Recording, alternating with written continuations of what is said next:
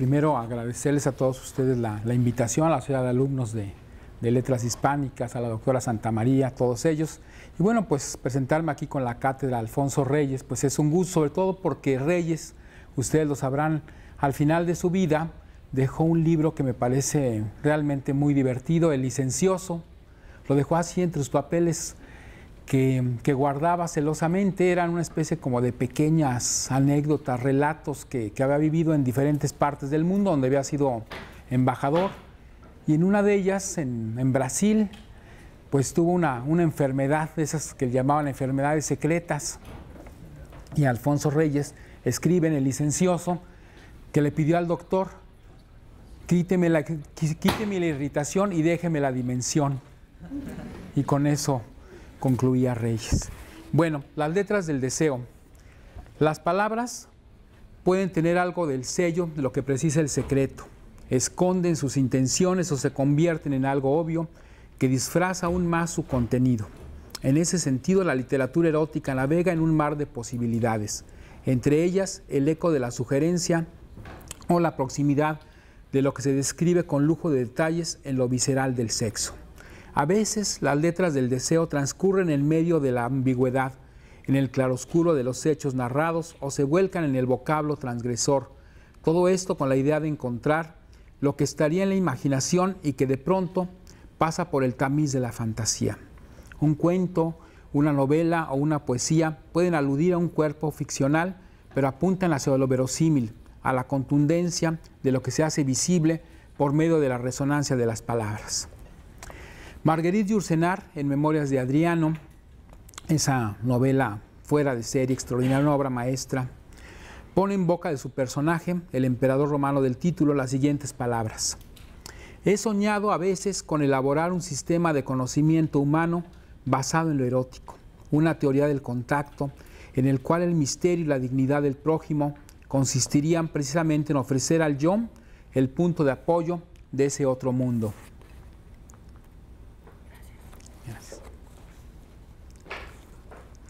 En una filosofía semejante, la voluptuosidad sería una forma más completa, pero también más especializada, de este acercamiento al otro, una técnica al servicio del conocimiento de aquello que no es uno mismo. Ese ejercicio de observación sería apropiado para quienes, quienes establecen contacto con las letras del deseo. Agudeza y perspicacia son fundamentales en este terreno. Ahora bien, ese sistema humano de conocimiento en torno al erotismo es el que aparece en el volumen Roland Barthes por Roland Barthes, que hizo este, este hombre tan cercano a, la literatura y que de pronto se propuso también a través de pequeñas notas establecer una especie como de, de ideario personal. Y él escribió así. Una joven pareja se instala en mi compartimento de tren. La mujer es rubia, maquillada, lleva gruesos lentes oscuros, lee Paris Match, tiene una sortija en cada dedo y cada una de las uñas de las dos manos está pintada de un color diferente. La del dedo mayor, más corta, pintada de carmín fuerte, designa crasamente el dedo de la masturbación. De allí el encantamiento en que, en que me encierra esta pareja, de la que no logro apartar la vista. Me viene la idea de un libro o de una película donde no habría igualmente más que rasgos de sexualidad de segunda mano. Nada de pornografía. Captaría, intentaría captar la personalidad sexual de cada cuerpo, que no es ni su belleza ni su aire sexy, sino la manera como cada sexualidad se ofrece inmediatamente para ser leída, pues la joven rubia de uñas gruesamente pintadas y su joven marido de nalgas moldeadas y ojos dulces llevaban su sexualidad de pareja en el ojal de la solapa. Como una cinta de la Legión de Honor, la sexualidad y la respetabilidad corresponden a la misma ostentación. Y esa sexualidad legible, tal como lo hubiera leído seguramente Michelet, llenaba el compartimento a través de una metonimia irresistible, mucho más que una sarta de coqueterías. Bart nunca llegó a filmar ni la película, ni, ni a escribir el libro a que anhelaba. Lo más cercano a este proyecto fue fragmentos de un discurso amoroso. Poco después moriría en un accidente de tráfico. Y bueno, en ese mismo sentido podría mencionarse una línea de Pascal Quignard en su novela Villa Malia, donde dice así, el deseo sexual recobrado embellece el cuerpo, irradia a los que están alrededor, purifica el aire, Incluso la piel de Julia ya no se enrojecía, se tostaba poco a poco. Esto es una suerte de puesta en escena de la sexualidad de segunda mano, la que sale de la alcoba y ostenta sus poderes en la pura figuración, en ese sol que irradian los cuerpos erotizados. La idea bartesiana es una fórmula indispensable que podría aplicarse de manera retrospectiva a muchas escenas literarias. Una de ellas podría ser la que está descrita en el encuentro inicial entre la señora Nidlinger y el vendedor de seguros en Pacto de Sangre de James M. Cain, una de las novelas negras más famosas en la historia de la literatura norteamericana. Y dice así, siguió hablando y yo no pude hacer otra cosa que seguirle la conversación. Pero un vendedor de experiencia como yo no solo juzga las palabras, siente si el asunto anda bien. Después de un rato comprendí que a esa mujer la tenía sin cuidado el Automóvil Club. Tal vez al marido le interesaría, a ella no. Había algo más. Sospeché que andaba detrás de alguna comisión, de alguna manera de conseguir unos dólares sin que el marido se enterara. Esto ocurre muchas veces. Un agente de seguros que se aprecia no se deja arrastrar a estas cosas. Pero la mujer recorría el salón y advertía algo que no había notado antes. Bajo aquel pijama azul se adivinaban formas capaces de enloquecer a un hombre, y me pareció difícil hacer creer en un solo instante mis explicaciones sobre la elevada ética del negocio de seguros. De pronto me miró y sentí que un escalofrío me recorría el espinazo y las raíces del cabello. ¿Tienen seguros contra accidentes? preguntó. Esta novela evidentemente tiene un, final trágico, es todo el interés por asesinar al marido y conseguir pues lo que, lo que obtenía con el seguro de vida. Y bueno, dice así, el erotismo es una incandescencia que pasa por los filtros del deseo. Es también la conciencia de la fragmentación que se opone de manera definitiva al afán ocioso de la totalidad. Eros busca la parte aunque quiere acercarse al todo. Eh, en este acto íntimo la cercanía es una elección, algo que se decide con el pretexto del gusto. Por ello, el erotismo requiere de una complicidad que se asume en el desfiladero de la experiencia y en los bajos fondos de la inmediatez. ¿Qué ocurre entonces con la literatura referida al tema de la lubricidad? Julia Kristeva, en su texto Semiótica, anota que hacer de la lengua un trabajo Laborar en la materialidad de lo, que para la sociedad es un medio de contacto y de comprensión no es hacerse de golpe extraño a la lengua. El acto denominado comprensión es inadmisible a la distancia ideal con la relación de lo que significa. Introduce el extrañamiento radical con relación a lo que se considera es la lengua, algo portador de sentido. Un proceso difícil enfrenta el texto erótico al otorgarle una dirección específica a las palabras. Se trata entonces de un sentido que tiene algo de fantasmal, de aquello que abre su compás de espera en busca de un nexo con lo literario. Hace poco en una charla con Daniel Sada, este gran escritor mexicano, pues hablábamos en torno a lo, difícil que es realmente mm, crear un texto erótico. Lo más fácil es hablar de la, de la sexualidad, exponerla de la manera más cruda posible, pero finalmente esto no garantiza que el texto sea erótico. Es decir, las palabras por sí mismas no, no otorgan esta validez al texto. Hay que articularlo, hay que darle proceso para que pueda realmente funcionar en este sentido. El siglo XX fue un promotor de esta literatura que curiosamente se cargaba de sentido cuando se le descalificaba por inmoral. D.H. Lawrence hizo del amante de Lady Chatterley una pieza que oscilaba entre el melodrama barato y la propuesta de una literatura audaz. Joyce debe buscar el, el auxilio de Sylvia Beach en la Shakespeare and Company para publicar Ulises. Esto sin contar con Trópico de Cáncer y Trópico de Capricornio de Henry Miller o los diarios de Anaïs Nin. En todas estas obras la lengua cobra sentido y lo hace en el trasfondo de un trabajo con las palabras que a contrapelo de la obviedad procura ir tras los frutos de una tradición a la que exaspera y rompe. Joyce fue un lingüista de primerísimo nivel. Bastaría el monólogo de Molly Bloom para instalarlo en el terreno de lo particular ante la intimidad que se desvela al ponerle en palabras y otorgarle un sentido, o sea, convertirle en acto literario. Podría agregarse que estas obras fundacionales del Eros del siglo XX aparecen las caras del, del poliedro sexual y por lo mismo la sexualidad de primera y segunda mano, las descripciones de las parejas erotizadas en la cama y lo que se observa en la cotidianidad, en donde la apariencia, lo sexual se abate en la renuncia a su condición lúbrica. Esto es, Algo semejante a la operación realizada por Miller, Lawrence Durrell en su cuaderno negro, Nin en sus relatos breves, Schnitzler con los extravíos de la Viena de principios del siglo XX, o George Bataille con la genial historia del ojo, y tantos otros que han hecho del deseo una construcción a partir de la lengua. De hecho, el gran hallazgo de la centuria anterior fue el cuerpo y sus múltiples manifestaciones expresivas, en tanto que el deseo se convirtió en un proceso de conocimiento. Octavio Paz y Carlos Fuentes, tan disímbolos, tuvieron en el erotismo un arsenal maravilloso. El monogramático y la llama doble hablan de esos encuentros duraderos de las palabras pasianas, a veces remitidas al contexto oriental de la India. En tanto que Fuentes llevó lo erótico por sendas magistrales en la muerte de Artemio Cruz, obra nunca antes, después, nunca, nunca después alcanzada por el propio Fuentes.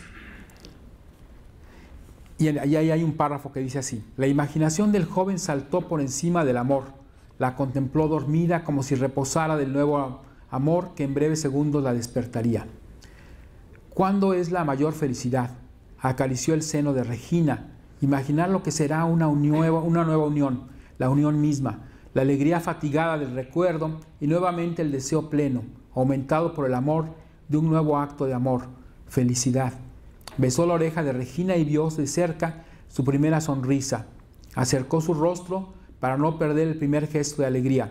Sintió que la mano volvía a jugar con él. El deseo floreció por dentro, sembrado de gotas grávidas. Las piernas lisas de Regina volvieron a buscar la cintura de Artemio. La mano llena lo sabía todo. La erección escapó a los dedos y despertó con ellos. Los mudos se separaron temblando, llenos, y la carne erguida encontró la carne abierta. ¿Qué decir de esa obra mayor? La lectora del francés Raymond Jean que cuenta la historia de una mujer que seduce con el poder de su voz y de las palabras que lee para sus convidados a ese coloquio de Eros. Está muy lejos de la medianía de Nicholson Baker y su novela Vox en torno a las hotlines. Todo un suceso fue la novela apocalíptica Crash de Ballard y sus personajes obsedidos por los automóviles y los accidentes viales que le suscitan una elevación notable del deseo. En la actualidad, el discurso erótico vuelve a recobrarse. Tal parece que los vaos apocalípticos del SIDA, sin que se resuelva el gran conflicto de esa pandemia, de pronto dejan que el péndulo oscile hacia la vitalidad de lo lúbrico. Por ejemplo, la inglesa Janet Winterson hizo una novela de múltiples aristas, escrito en el cuerpo, Anagrama 1994, que es un recorrido por la ambigüedad, de tal modo que el personaje central es una figura neutra, sin género definido, una simple máquina de deseo que enseña los pormenores del amor en una novela sin sexos definidos, aunque a veces aparecen expresiones ligadas al SIDA que tienen una fuerza admirable. Noches salvajes de Cyril Collard, quien enfrentó la autografía para narrar su caso atroz. Un publicista y fotógrafo homosexual da un viraje y enfrenta la posibilidad de una pareja femenina. Él ignora su calidad de sidoso e infectará a la joven amante. Por otro lado, sería imposible dejar a un lado Luna Amarga de Pascal Bruckner, novela de la crueldad extrema, texto transgresor que establece el diálogo entre la hipocresía de una pareja y la decadencia desesperada de otra. Y bueno, pues todo el boom latinoamericano estuvo cargado de, erotismo. Ahí, el maestro Vargas Llosa que acaba de venir a Monterrey, según, según sé, y bueno, los cuadernos de Don Rigoberto, todo el elogio de la madrastra, y bueno, pues en general en la obra de, Vargas Llosa los, los momentos eróticos son, son incontables, una gran capacidad para, establecer este diálogo y otorgarle sentido al, al deseo. El cuerpo se ha abierto a las interpretaciones. Hombres y mujeres saben que la belleza es algo movedizo, cambiante. Las ideas grecolatinas han pasado a la historia. Ahora la incidencia de las consideraciones estéticas radica en ese proceso constructivo, reflexivo, en donde lo bello es transitorio y carece de un patrón específico de juicio. La subjetividad de la belleza es nudo real e invisible del eros. Para el que desea su objeto también está a la búsqueda de esa definición. También tan es así que como anota Gilles Deleuze en Proust y los signos, el enamorado, al igual que el Cándido de Voltaire, apuesta al mejor de los mundos posibles. En esa red de belleza cobra forma y puede otorgarse un nombre, se le otorga un sentido y se le recrea con las palabras. La misma Alejandra Pizarnik en uno de sus textos memorables hablaba de eso que poder amar a alguien es poder otorgarle un nombre. En el último Tango en París, aquella película que fue uno de los iconos de los años 70, pues aparecía algo que era terrible. Al final la mujer pues mataba a este, a este hombre, que era su amante, y decía, reflexionaba así como en voz alta, ni siquiera sabía su nombre. Dicen Bart, diría en su texto autobiográfico, incidentes, en el bar el cuerpo del otro no se transforma, nunca en persona, civil, psicológica, social, etc. Me propone su paso, no su interlocución, como una droga especialmente adaptada a mi organización. El bar puede entonces convertirse en el lugar de trabajo de mis frases. No sueño, fraseo, es el único mirado y ya no el cuerpo escuchado, lo que toma una función fática, de contacto. Y de ahora, entre la producción de mi lenguaje y el deseo flotante de que se nutre esta producción, hay una relación de vigilia, no de mensaje. El bar es en suma un lugar neutro, es la utopía del tercer término, es alejarse a la deriva de la pareja demasiada pura, hablar, callar. El libro todo es una reflexión en torno al sexo de primera y segunda mano. Incidentes fue un libro terrible de, Roland Barthes. Eran una especie como de memorias ya de, su etapa ya, ya de vejez, donde iba pues, a tratar de ligar de manera homosexual en, los bares de París.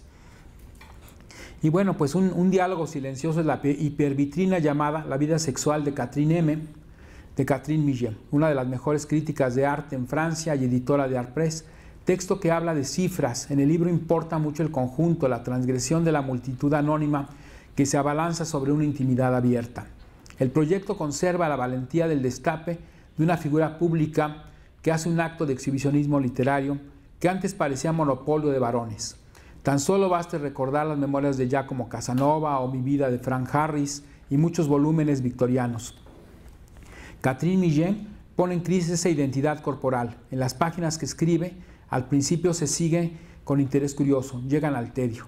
Sus partes escatológicas son memorables porque mueven más a la náusea que al deseo. Sin embargo, el libro se defiende sin más, en ese espectro en donde una autobiografía erótica se convierte en un espejo de la realidad contemporánea aunque resulta mejor Celos, texto prustiano sobre la posesión-desposesión de la pareja amada de la misma Catherine Millet.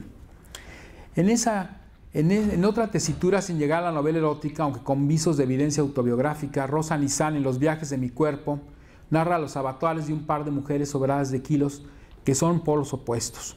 Una es la desenfadada, la que va a los bares con esa operación que marca Roland Barthes para ejercitar el deseo flotante, mientras que la otra se resguarda bajo sus conservadurismos. Poco a poco esta última aprenderá los rigores del amor. Esa enseñanza imposible según el ensayo de André Morois sobre En busca del tiempo perdido de Proust. La novela es aleccionadora y vale por su necesidad emocional. Ahora bien, en esa variedad de propuestas sobre la felicidad y el erotismo, llega un texto de Extravío, Felices como asesinos, de Gordon Bourne, obra maestra de la investigación periodística que hace el relato de unos asesinos seriales, Fred y Rosamary West, quienes hicieron de su vida íntima un estallido, un estallido destructor. Bourne escribió el libro Demoledor, atroz en su veracidad. En él está el incesto, el crimen, el abuso de todo tipo y el cinismo. Y el cinismo. Inglaterra queda en un sitio deplorable ante la miseria existencial que marca ese trabajo profundo en donde la genealogía de los personajes es la piedra imán de sus acciones homicidas. En el territorio de la sexualidad, Fred, el marido obligaba a su esposa Rosemary a tener sexo con otros. Para ello la proveía de prendas íntimas oscuras que permitieran la mancha clara del esperma. Al regresar de sus correrías, la mujer entregaba ese tributo al esposo, quien luego de examinarlas las quemaba y colocaba las cenizas en un frasco. Era la labor de un obseso que derivó en un monstruo de agresividad. Con esa vena de la crueldad y el manejo cómplice de las actividades eróticas llega la novela Llámalo Deseo, de José Luis Rodríguez del Corral, un texto cargado de sugerencias y de miradas que terminan por estallar. El texto está narrado en, pianísimo, casi en sordina, para que cuando llegue el encuentro de las dos mujeres y el marido de una de ellas, se celebre la ceremonia del látigo y los celos. Un libro ejemplar de relatos es Secreciones, Excreciones y Desatinos de Rubén Fonseca que revisa con indudable ironía aquello que escuece a las buenas conciencias. El escritor brasileño elabora un texto acerca del erotismo en una visión cotidiana, en donde los problemas hormonales, la revisión de las heces, la imposibilidad de, una, de que una dama orine en una pierna de un hombre, son atisbos de un universo que oscila entre la ironía y la risa socarrona en torno a las llamadas perversiones. Él puede hacer la magia de convertir las palabras de lo inmediato en un dispositivo de reflexión y de deseo. Es decir, con la sencillez de su prosa se construye un ánimo lúdico y reflexivo, cosa que es por demás complicada. Otros trabajos dignos de mención son sin lugar a dudas los de Ana Clavel y sus preocupaciones por la noción femenino y masculino, las muñecas y todo un catálogo en donde la sexualidad vive episodios memorables, como en Cuerpo Náufrago y Las violetas son flores del deseo. Ya en el siglo XXI el erotismo literario pasa por un momento de revisión. Sus calidades pueden ser dispares, pero lo principal es que se publique y lea ese material que antes se resguardaba en espacios custodiados de las bibliotecas públicas, como en el llamado infierno que menciona Roger Chartier de la Biblioteca de París, en lugares sórdidos de las librerías o que simplemente se les negaba la posibilidad de publicarse. Muchas gracias.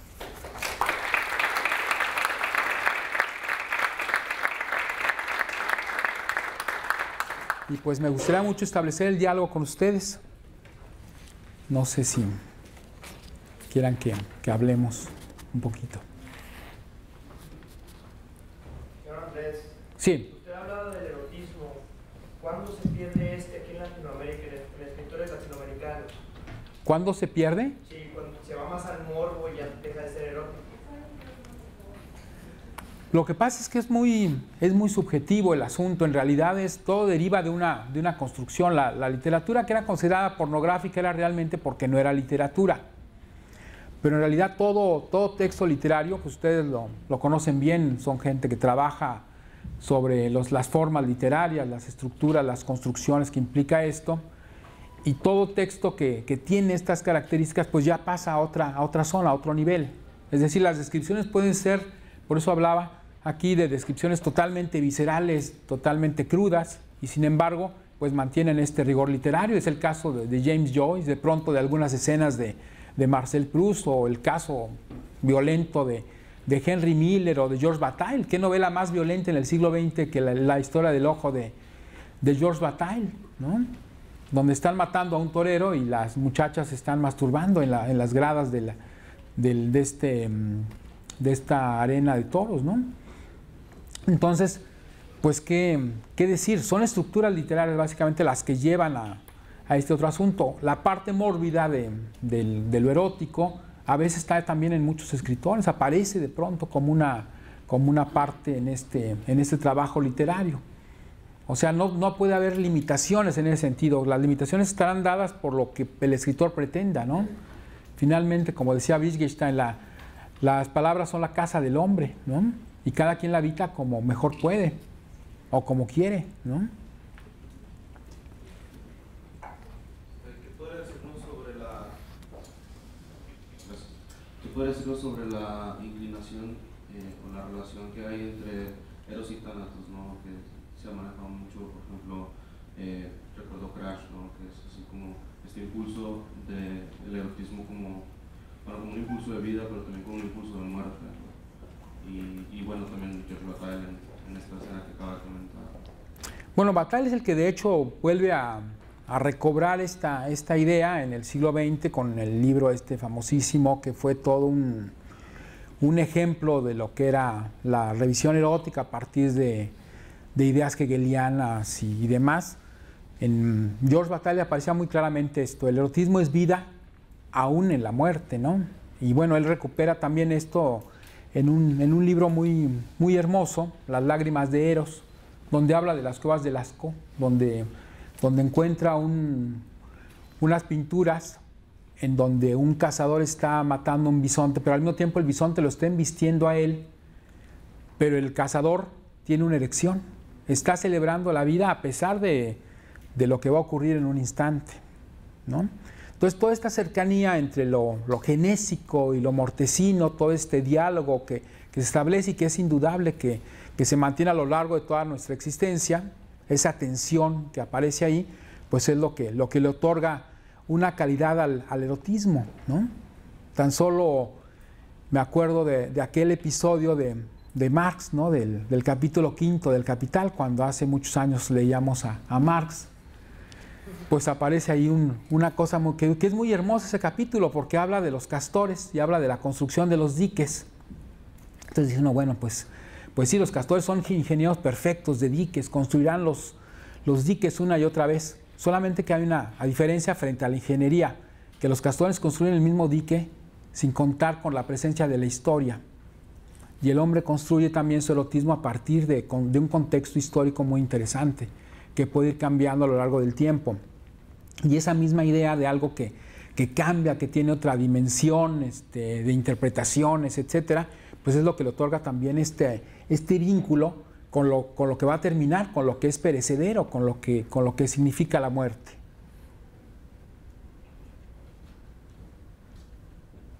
Sí.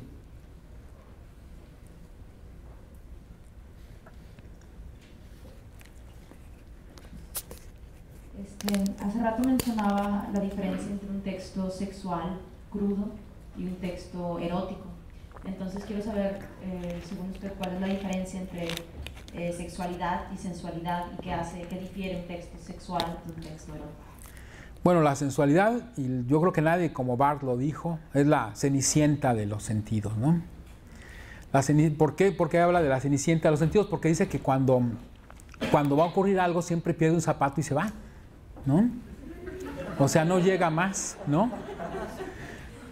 En cambio ya ya el erotismo ya es un acto más concreto, más específico, ¿no? Pero siempre será proceso. O sea, nunca los escritores que quieren reducir todo al, acto de la cama, pues están perdidos porque en realidad el erotismo es un proceso. O sea, verdaderamente es eso.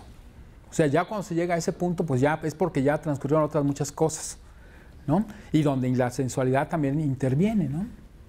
Es parte de un proceso nada más, ¿no?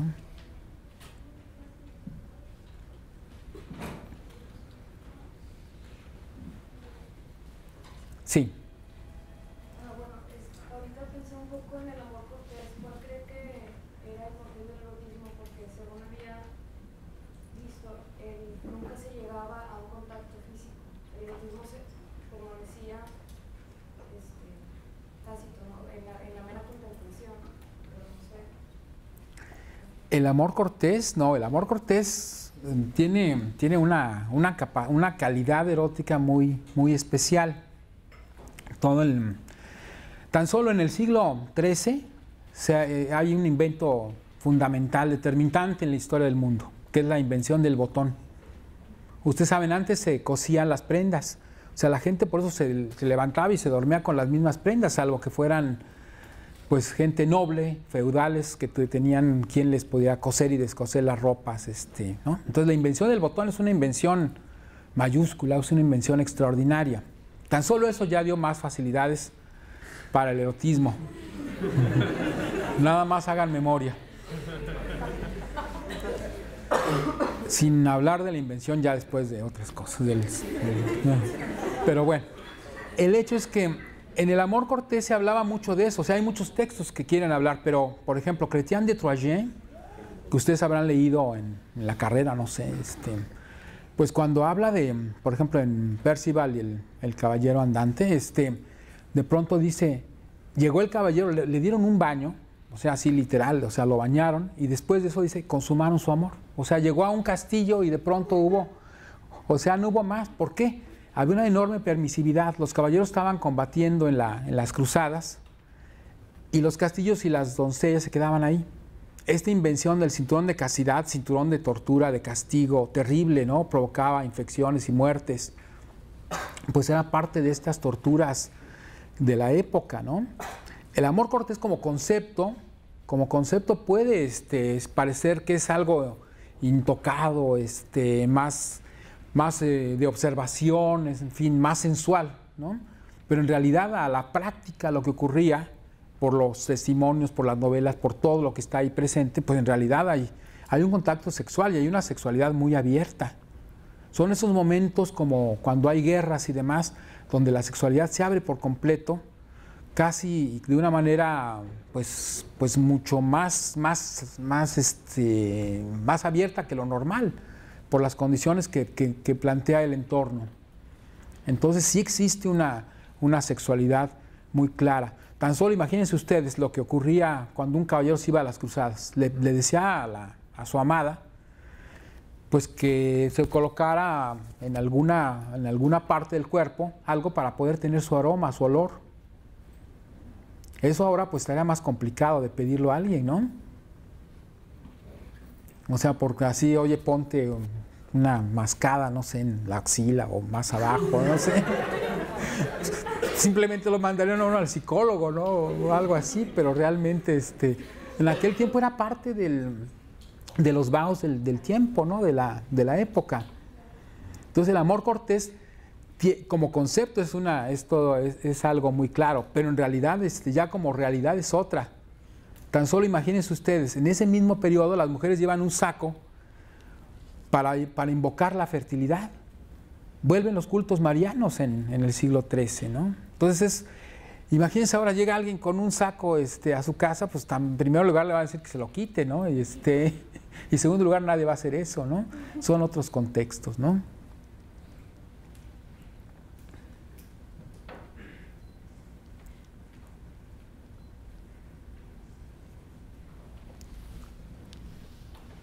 Mencionó que, que, en la literatura del siglo XXI se estaba haciendo una revisión de, del erotismo.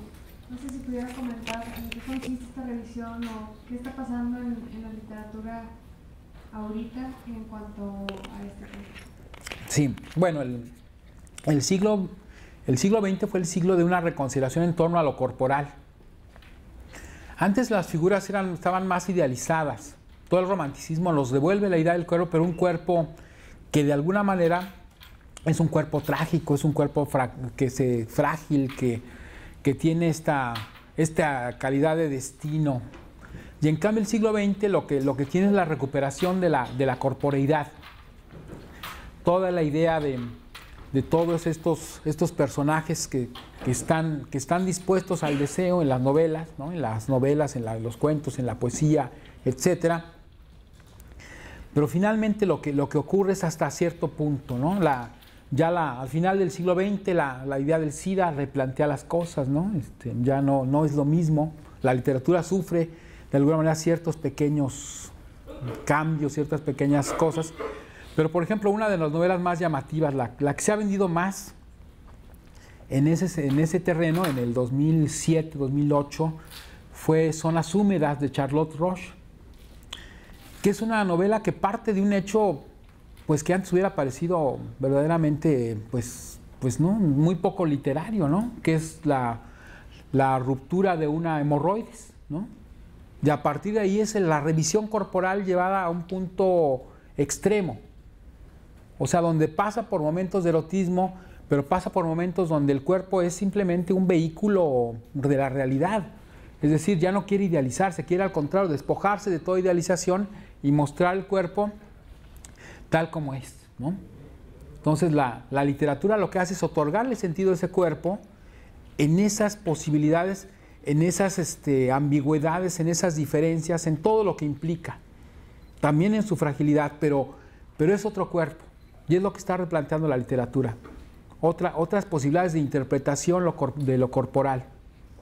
De la misma idea del amor, de las parejas, la misma la perspectiva de la familia ya es otra. En fin, todo esto es lo que está planteando ahora. Después como una especie de, suma de lo que ocurrió en el siglo XX y ahora cómo, cómo ubicar el nuevo siglo, que apenas pues está empezando, todavía no tenemos una perspectiva muy clara de lo que va a ocurrir, pero sí hay cambios en ese sentido.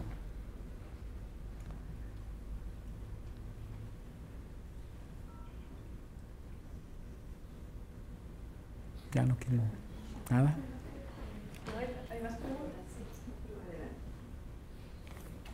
Gracias. Eh, me gustaría saber si nos podría hablar un poco acerca de su propia escritura erótica. ¿no? Este, yo recuerdo que algunos de los primeros textos eróticos que yo leí eran justamente los que usted publicaba en la jornada semanal. ¿no? Y confieso que me saltaba yo toda la revista para ir directo a las caricaturas de Disciplino y a sus textos. ¿no? Eh, las letras mexicanas no se caracterizan por una gran tradición erótica, ¿no? Entonces me gustaría saber cuáles fueron sus modelos, cómo llegó usted a practicar esta literatura, qué podría decirnos al respecto. Bueno, lo que pasa es que tuve, tuve la, fortuna de, estar cercano a, a, Huberto Batis en el suplemento de sábado de uno más uno. Batis era un hombre, es un hombre que está muy, muy ligado a la, a la idea de, del erotismo, muy cercano a Juan García Ponce, y él mismo ha sido, hecho algún, algún libro sobre la, obscenidad de la literatura y demás. Y bueno, pues un día yo le llevé un, un texto sobre mm, las prendas interiores y Venecia, y le gustó mucho y lo convertimos en una, en una sección ahí en el, en el 1 más 1, que era sobre temas básicamente de, erotismo, o sea, cada semana se, se, se, comentaba algún, algún tema, y después me, me pareció interesante explorar la idea de, de, la, de los pequeños, breves textos eróticos, pero ya más enfocados a, pequeñas narraciones, como viñetas literarias, que es lo que que es lo que hice en la, en la jornada semanal. Después hice un libro que, que fue finalista en, la, en, el premio de la sonrisa vertical y que desgraciadamente no pudo ganar el premio porque tenía varios textos publicados previamente y una de las que yo, ni había leído yo la convocatoria, lo mandaron por otro lado. Pues ya ahí estaban estos textos que, que se referían a personajes de, de diferentes momentos de la historia. Entonces me permitió revisar de alguna manera la, la idea de la sexualidad y el erotismo a lo largo del, del tiempo. Entonces había textos de, de, muy diferentes épocas, ¿no? Desde, había, por ejemplo, un cuento sobre, sobre los egipcios ahí de una, una, maldición que había por ahí este, en la época de los egipcios, y, pero también cuentos muy contemporáneos. Entonces eso me, me, me llevó a, a escribir un díptico que fue El bosque de la serpiente y El secreto de las cosas. Ese fue, y bueno, pues ahora he seguido publicando textos en torno al, al tema, ¿no? La, la, misma novela que, que publiqué, que se llama El invierno apenas comienza, también es una novela que tiene ciertas características de erotismo, ¿no? cierto énfasis.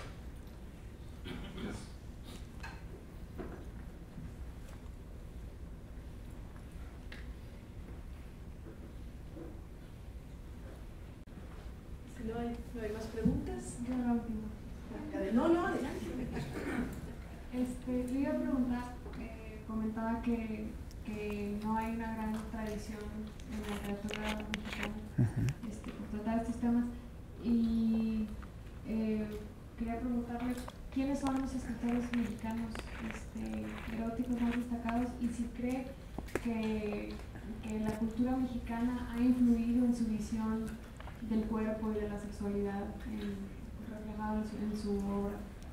Bueno, dos, los dos, dos de los principales los mencioné que eran Octavio Paz y Carlos Fuentes. Definitivamente son dos escritores muy notables, poliédricos también ellos. La poesía de Paz está cargada de, alusiones eróticas. La obra de Fuentes tiene una carga sexual muy fuerte, ¿no? Pero no solamente ellos, sino también, por ejemplo, Efrén Rebolledo. Efrén Rebolledo es uno de los escritores de principio del siglo XX, muy importante lo que ha hecho Alberto Ruiz Sánchez con toda esa búsqueda de Mogador, ¿no? este, Isahuira en, este, en Marruecos, ha sido muy interesante. Carla Clavel ahora ha trabajado muchísimo sobre el tema, aunque ella dice que no es escritora erótica. Pero en general no es un, no es un tema que, que interese realmente dentro de las letras mexicanas como un tema fundamental. ¿no? Apareció, por ejemplo, con con la generación de la onda, con José Agustín, con Gustavo Sáenz, con Héctor Manjarres, con Jorge Aguilar Mora, toda una serie de, de, apreciaciones en cuanto encontraron o reencontraron la idea de la adolescencia. ¿sí? Todas las iniciaciones sexuales que aparecían ahí en, en estas novelas y cuentos, pues fue muy importante para, para toda nuestra generación. Juan García Ponce fue un escritor muy importante en ese aspecto, podía gustarnos o no, pero finalmente es un escritor que era muy propositivo, que se atrevió a ir mucho más lejos, a hacer una literatura transgresora, cosa que no existía en las letras mexicanas. Y bueno, pues yo creo que ellos son fundamentalmente quienes conforman toda una, un espectro de lectura de lo que es el erotismo en las letras mexicanas.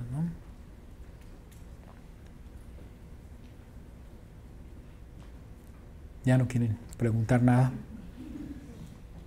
Pues estamos en el Congreso, estamos aquí. Sí, sí, hay otra pregunta. Sí. Le quería preguntar qué opina, este, como que existe cierto sentimiento de culpa al, por en México, no quiero generalizar, pero por lo lo mismo de la historia que tiene México en cuanto a la religión y eso, al momento de leer este tipo de texto. Entonces, ¿qué opina como este, O sea, ya sea el que lo escribe o el que lo lee, un sentimiento de culpa de que está haciendo algo mal, o que no debería estarlo haciendo, o sentir esas cosas. No, pues no, no debe tener ese sentimiento de culpa. Los franceses, los franceses le llamaban, ¿saben cómo? Restif de la Breton inventó un término que era libros para leer con una sola mano. Entonces, a lo mejor con eso se descargaban ciertas culpas. Yo creo que, no, yo creo que ya actualmente, no, que ustedes hagan un congreso, que los estudiantes de letras hagan un congreso sobre la literatura erótica y demás, pues yo creo que habla de que ya no tenemos esa, esa carga, que la, que la construcción misma de las letras, de lo que se pinta, de lo que se escribe, de lo que se filma, etcétera, pues que ya no entramos en esa condición, ya estamos en otra centuria, ya entendemos la cultura de otra manera y que el erotismo forma parte de nosotros, o sea, es un tema que indudablemente forma parte de nuestra piel en el mejor y en el más amplio sentido de la expresión. Entonces yo creo que no, no debemos sentir esa, esa, esa culpa, no sentirnos culposos. ¿Por qué? ¿No? A veces sentimos culpa de cosas que ni siquiera debemos sentirlo, ¿no? A veces se sentía culpa hasta del pecado original, ¿no? Eso ya, pues, como que ya pasó mucho tiempo, ¿no? Entonces ya, mejor yo creo que este, yo creo que hay que apreciar la calidad literaria de, lo, de los textos, enfrentarlo en ese sentido y, y nada más, ¿no? Disfrutarlo.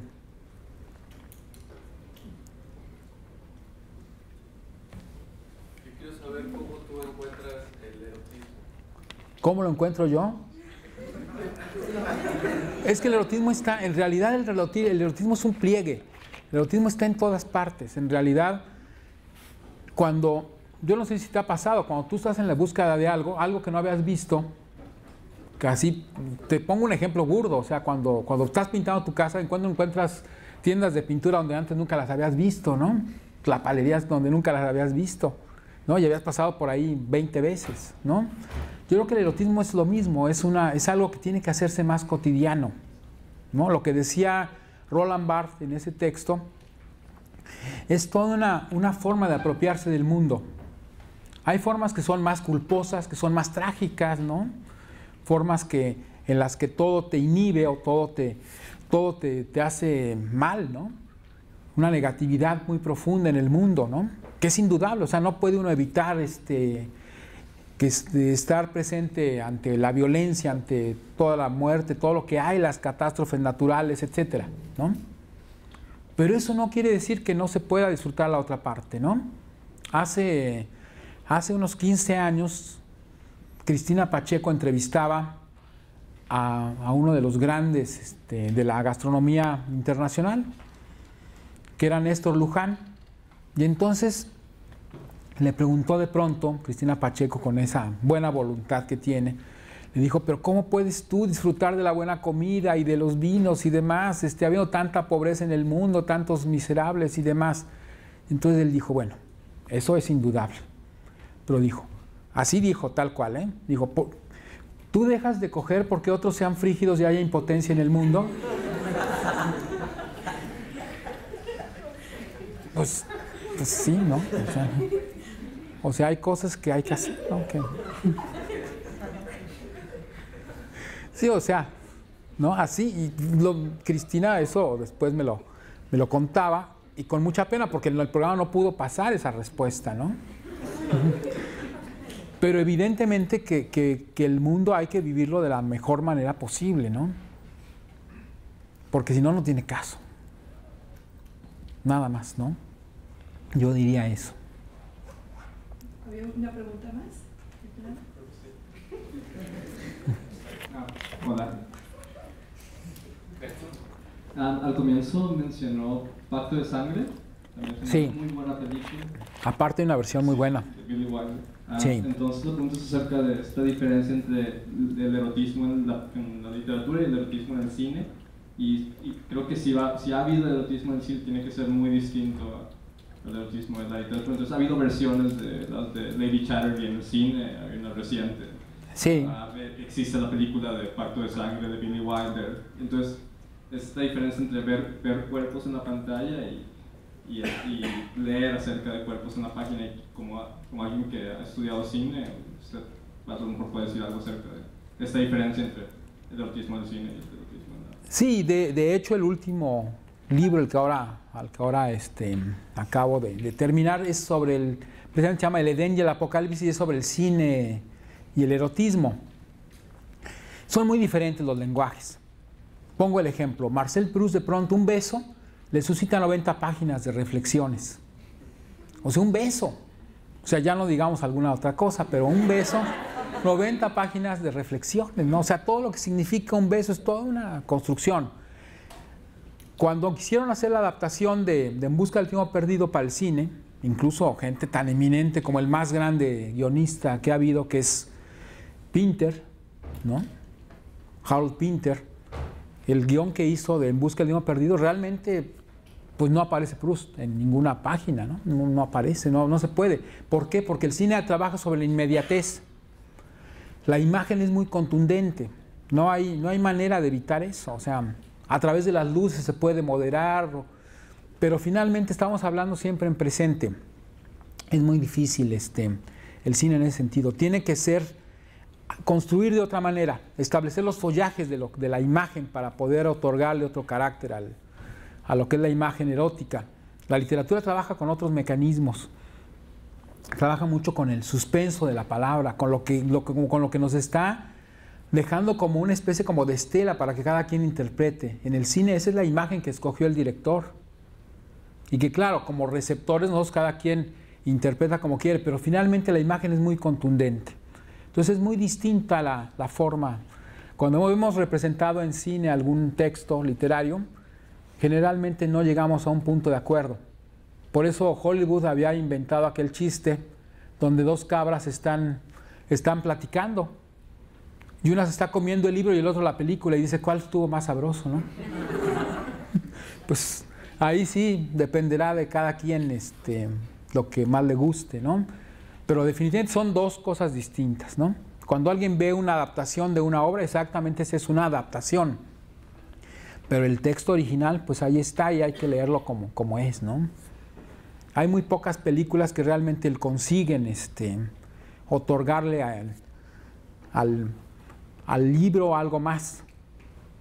Aunque hubo algunos momentos muy geniales, como por ejemplo Joseph Loisy cuando hace la adaptación del mensajero de Hartley, tiene una escena prodigiosa porque descrita la escena en el libro resulta muy pálida. Hartley dice que el, encuentro entre un muchacho que va a pasar un verano con sus primos, con bueno, unos primos adoptivos que tienen, el joven de 14 años se enamora de la prima que tiene alrededor de 25 y ella tiene un amante, en fin.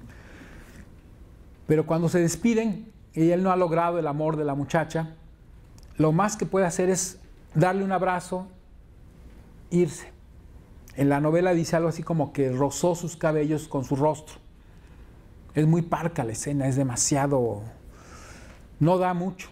En cambio en el cine la escena que, que concibe Losey es donde materialmente la cabellera de Julie Christie, que es la actriz que hace el papel, envuelve al muchacho y sentimos que ahí hay casi una iniciación sexual, o sea, de la intensidad que tiene la imagen fílmica. Pero pues ahí será también cómo interpreta el director, cómo lo escribió el, el literato, en fin, este, son dos dos lenguajes que hay que apreciar y que hay que encontrar, y que, pero que hay que dividir también, hay que segmentar, o sea, que no son lo mismo y que cuando se adapta una novela de una, a una película, pues a veces no es lo que uno esperaba. Pues, creo que, creo que hay uno. Bueno, yo tengo una pregunta. Hace ratito mencionaron la noción del pecado, eh, cuando la compañera hizo la pregunta acerca de la culpa. Y bueno, a mí me parece, digo, dada esta gran tradición eh, cristiana que llevamos y que como cultura tenemos la noción del pecado metida muy adentro, a mí lo que me gustaría preguntarle es sobre la relación entre el erotismo y el pecado, en el sentido de cómo se ha alimentado la idea del erotismo de la idea del pecado. Bueno, están, están íntimamente ligados, o sea, realmente la cultura occidental Y ahora sabemos a través de todo lo, el gran estudio que ha hecho Michel Leonfray, a través de las atiologías, todo lo que, lo que significa esta idea, ¿no? Lo prohibido, cómo, cómo es lo que causa interés por, por, ubicarlo, ¿no? Simplemente tan solo esta idea de la serpiente. La serpiente generalmente nos hablaban del mal. La serpiente no es el mal, es el conocimiento. O sea, entonces el conocimiento es lo que realmente resulta conflictivo. O sea, ¿quién quiere permanecer sin conocer? Y el que conoce, ¿qué es lo que conoce y hasta dónde llega? ¿no? Entonces es un poco eso, la curiosidad por, por el cuerpo del otro, la curiosidad por el cuerpo de uno mismo, todo lo que implican esos, esos vínculos y cómo se van estableciendo en, la, en las redes literarias. ¿no? Desde los textos más antiguos, ¿no? Desde la poesía libertina de, de Marcial o de Cátulo, ¿no? hasta cosas absolutamente contemporáneas. ¿no? Todo, todo aparece en ese terreno, entre lo que, hasta dónde podemos llegar, hasta dónde podemos ir, ¿no? El poema de Monique Wittig del cuerpo lesbiano, que es un, un texto donde abarca todo, o sea, ir, un, ir a un cuerpo hasta el interior, hasta las vísceras, o sea, un cuerpo enamorado, ¿no? Que llega hasta ese punto de la ficción, o sea, de, de deconstruir todo eso, ¿no? Entonces es, es- es muy interesante toda esta idea de, de qué es lo, hasta dónde podemos llegar, cuáles son los límites, cuáles son los umbrales del erótico, ¿no? ¿Qué es lo que hay detrás de todo eso? La, lo que hace George Bataille en la historia del ojo es, es crear cuerpos ficcionales. O sea, no son cuerpos reales. O sea, eso es pura ficción lo que está contando, ¿no? Otros quieren acercarse a, a una idea más cercana a lo verosímil. En fin, es todo un, juego el que hay ahí, pero lo que está básicamente encuadrado en todo esto es el deseo como una forma de conocimiento, ¿no? Volvemos a la serpiente original, ¿no? Sí, María bueno, y luego yo. a ver si se escucha. Eh, bueno, yo tenía, tengo dos comentarios y una pregunta. El primer comentario sería, bueno, de esto del pecado, etcétera, pues hay textos bíbli- bíblicos como el Cantar de los Cantares. Bellísimo. Que tienen claramente, ¿verdad? Y la otra cuenta, como hay varios especímenes aquí que tomaron clase conmigo, quería hablar específicamente de la regenta, Ajá. donde está el pecado y el sacerdote y Ana de Osores que muere de amor por el sacerdote y está también el Víctor Quintanar, y todo ese triángulo amoroso está en, el- en, ese, en esa línea entre el pecado y el deseo, ¿no?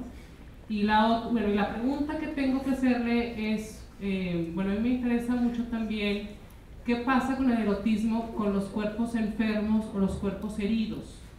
Como que hay muy pocos ejemplos sobre qué pasa en la literatura cuando los personajes están heridos o enfermos y su relación con el amor y el erotismo. Bueno, hay dos, dos ejemplos que, me, que de pronto recuerdo así. Este, Johnny tomó su fusil de Dalton Trumbo, que es un hombre que está, que está postrado, que está herido de guerra y que sin embargo recibe la carga erótica de una manera verdaderamente este, extraordinaria, ¿no? O sea, como que registra de manera amplificada todo el discurso erótico, ¿no? Como que por él, precisamente ante la incapacidad de, moverse de una cama, como que registra esto de una manera pues en alta fidelidad, ¿no? Es un, es un momento extraordinario la- el cuento de la tsunamita de, de Inés Arredondo con este anciano enfermo, ¿no? Que el lector no se da cuenta de lo que está ocurriendo hasta el final del texto, ¿no? Que es un- una práctica de sexo oral, ¿no?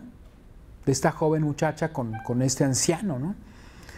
Bueno, Cortázar tiene un cuento maravilloso de un niño enfermo que finalmente muere y toda la relación con la enfermera y demás, ¿no? Yo creo que sí ha habido ejemplos, ¿no? Sí hay, este, de alguna manera, esta noción, porque inclusive, precisamente en una plática con, con Huberto Batis decía eso, que, el- que los hospitales de pronto suscitaban una serie de emociones eróticas. Yo creo que a él, pero... A mí, yo veo un hospital y a mí no, me- no me ocurre algo así, pero... ¿Cómo? Uno según Garp, ¿te acuerdas? Bueno, el mundo según Garp empieza ahí precisamente, ahí es concebido Garp. Esta novela de John Irving, espléndida. Y en la novela española hay mucho de esto, ¿no? De, la, enfermedad de alguna manera, este extravío aparente que en realidad es como ir condensando, ¿no? Como ir en, en, el pozo de los deseos poniendo todas las cosas para finalmente que estallen de alguna forma, ¿no? Yo creo que, que sí, además es un tema muy interesante, ¿no? Todo lo que va ocurriendo en ese, en ese terreno de la, la enfermedad y el del deseo, ¿no? Por lo general nos hablan y por eso la, la, literatura es muy interesante, porque puede crear incluso cosas que a lo mejor a la realidad no, no operan así. El enfermo, por lo regular, no piensa en lo erótico, en general. Pero, por ejemplo, las cartas de Kafka con sus accesos de tuberculosis tenía, era cuando realmente ejercía mayor potencia sexual. Incluso dibuja estas cosas que este, las cartas a, a Milena este, aparece todo ese tipo de cosas, ¿no? Entonces yo creo que sí hay, una, hay un vínculo, por lo menos literario, entre la, la enfermedad y el, y el, deseo. Ahora sí ya se nos está acabando una más, pero va, va a seguir Andrés en una mesa, ¿eh? ya, ya, me dijeron que sigue en una mesa, entonces podemos seguir conversando con él. Vamos a una pregunta más. Sí.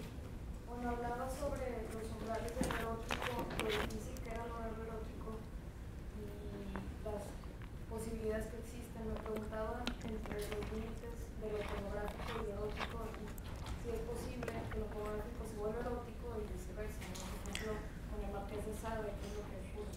Bueno, no solamente con el Marqués de Sade, cuando vino Catherine Millet a México a presentar su libro hace tres años más o menos, ella decía que la palabra pornografía en la actualidad encubría toda la literatura erótica. Es decir, que con esa palabra se descalificaba todo. En realidad lo que ocurrió en el siglo XX fue que la literatura y la pornografía, bueno, la, la, pornografía en general, permeó muchos discursos, ¿no? Lo, la diferencia es lo que habíamos visto al principio, la estructura, la, la, condensación que tiene la, literatura erótica, pues va mucho más allá de lo pornográfico, ¿no? Entonces, me parece que, que toda esta idea de, lo, de la pornografía fue una, una, mala invención. O sea, existe una industria pornográfica que es bastante aburrida, todas las películas estas, ¿no? Baudrillard decía que lo mejor de, las, de los inventos era el, el, control remoto que permitía acelerar las películas, ¿no? Él lo sabría bien, ¿no? Pero, pero el hecho es que, las novelas este, pornográficas pues, son terriblemente aburridas, ¿no?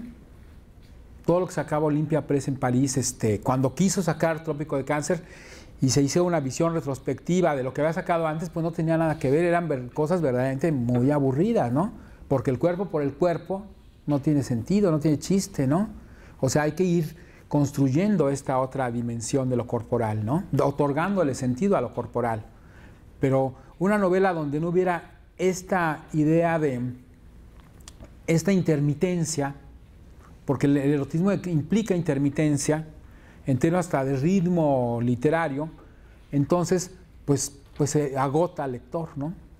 Por ejemplo, Eden, Eden, Eden de Guyotá, que es precisamente una novela que quiere ser de principio a fin erótica, que todas sus páginas sean eróticas, de pronto ya la cuarta página ya está uno agotado, ¿no? Tiene uno que, que tomar respiro, ¿no? Sí, sí, ya... O Catherine Millet de pronto, son, dice, tuve una noche, creo que dice que 126 amantes. Y yo, a mí me preocupan no las cifras, sino cómo los contó. Sí, fundamentalmente eso que iba poniendo rayitas o, o cómo iba haciendo, ¿no? Pues me parece demoledor el asunto, pero bueno. Entonces, toda esta idea pornográfica de, este, de la literatura, pues realmente se han ido juntando, se han ido dando, incluso se han utilizado elementos de la pornografía dentro de la literatura.